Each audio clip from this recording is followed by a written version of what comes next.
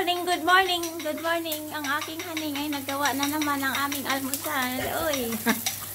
Ay, tomato. Tomato.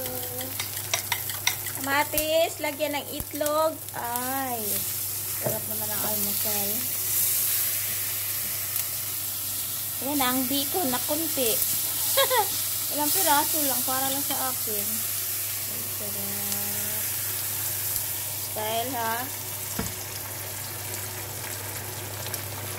Ayan na, naging umilit na.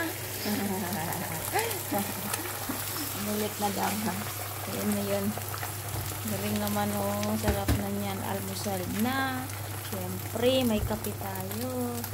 Yan, tapos konting bacon. Simpleng almusal na masarap. At saka may kanin. Oh, malapit na maluto ang aming omelette.